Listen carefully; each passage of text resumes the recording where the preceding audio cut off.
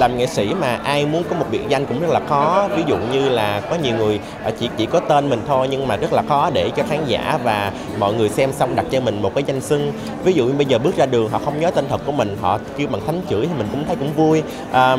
lúc đầu thì có suy nghĩ là không biết là nó có văn minh hay không nhưng mà suy nghĩ lại thì những cái sản phẩm mình trên youtube đã minh chứng cho một điều là thánh chửi nhưng mà cách chửi mình tử tế không văn tục thì đó là điều đáng đón nhận và nhất là đang nụ cười cho tất cả mọi người về một số bạn ờ, gần đây có áp dụng cái kiểu chửi này thì ờ, thật ra cái người chọn lọc tinh tế nhất và cái có người nghệ sĩ người diễn viên đó có được sống lâu với cái kiểu đó hay không thì cái người quyết định mới là khán giả. Khán giả mới là người quyết định cho nên là dự không biết nói gì cũng không biết góp ý thế nào. Chỉ biết là à, mình làm sao cho khán giả ấn tượng. Ấn tượng là cái điều quan trọng nhưng ấn tượng được bao lâu lại là một chuyện khác. Thì dự nghĩ người khán giả mới là người chọn lọc quyết định cái điều đó dự lại là một cái người rất uh, phân biệt rất giỏi ở đâu là diễn và ở đâu là không diễn và tách biệt sân khấu với cuộc đời rất là rõ ràng. Uh, chắc chắn là những gì minh ờ, mọi người thấy một minh dự trên sân khấu thì chưa hẳn là con người thật của dự đâu bởi vì uh, con người thật của dự và cái đời tư của dự thì là một phần nào đó trong quyển sách của mình. Uh, đó là một minh dự thường trầm tư suy nghĩ và thích chọn một góc cà phê ngọc mình ngắm hết tất cả mọi thứ. À, thường thì diễn viên nghệ sĩ hay ca sĩ thì họ sẽ cho ra đời một quyển sách gọi là tự truyện hồi ký mang hướng mà kể về những biến cố trong đời nhiều hơn. Nhưng mà dự là dân học văn mà à, khi mà còn ngồi trong ghế à, nhà, nhà trường đại học của mình thì dự đã ấp ủ là sẽ một ngày đó được cầm trên tay quyển sách có tên tác giả là Minh Dự thì mình sẽ sung sướng biết là bao nhiêu. À,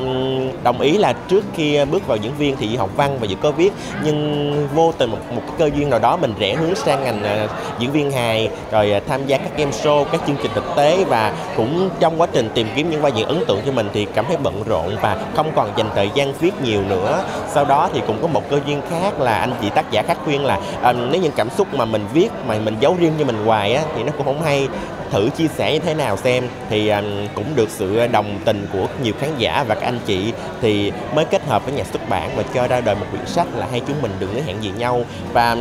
à, thường là diễn viên hài thì à, người ta quen với cách là sôi nổi hoạt náo trên sân khấu thì quyển sách này rất là trầm lắng và thiên về cảm xúc buồn nhiều hơn. Thì rất may mắn là từ khi ra sách đến nay hơn một tuần thì sách được ủng hộ ông sách được ủng hộ rất là nhiều và bán à, đang rất là chạy. À, nói về quyển sách hai chúng mình đừng hứa hẹn gì nhau của Minh Dự thì cái thời gian mà à, hoàn thành quyển sách thì gần như là 2 năm bởi vì có những thời gian mình đi diễn mình không có viết kịp thì phải đợi thời gian rảnh và thật sự nhập tâm với nỗi buồn của mình đang có thì mới viết. À,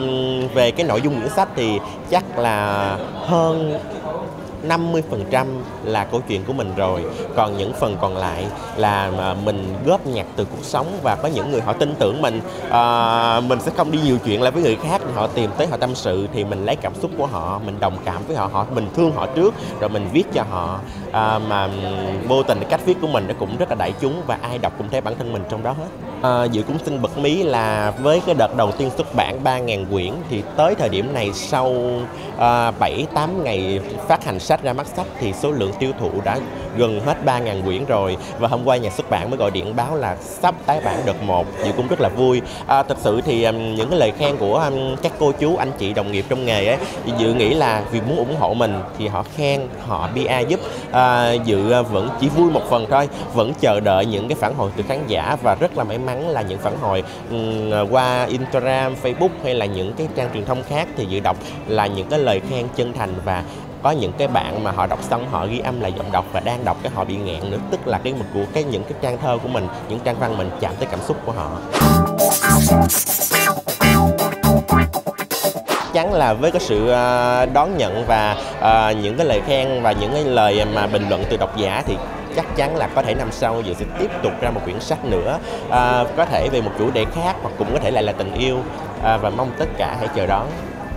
dự mong là khán giả hãy à, ủng hộ quyển sách hay chúng mình đừng có hẹn gì nhau bởi vì à, đây là một cơ hội ngoài việc đem lại tiếng cười cho tất cả mọi người thì mua sách và ủng hộ sách cũng là một cho dự một cơ hội để cùng đồng cảm và san sẻ giọt nước mắt và nỗi buồn của tất cả các bạn. Và một lần nữa vẫn mong người ủng hộ quyển sách hay chúng mình đừng có hẹn gì nhau trong đợt xuất bản tới.